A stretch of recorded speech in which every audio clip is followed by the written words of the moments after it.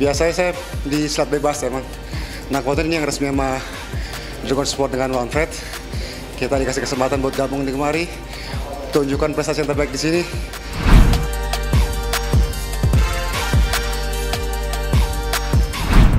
Oke, uh, mungkin pertandingan memang agak berbeda. Kita tidak ada ground ke bawah, kita hanya atas. Kita boleh guntingan, sapuan, bantingan sesuai silat sebenarnya sebiasanya.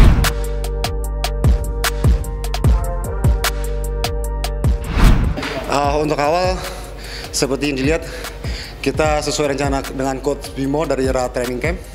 Kita untuk memain habis dari ronde awal. Dan tadi yang insiden terakhir tadi agak lepas kena kepala belakang ini tanpa sengaja juga. Mohon maaf pada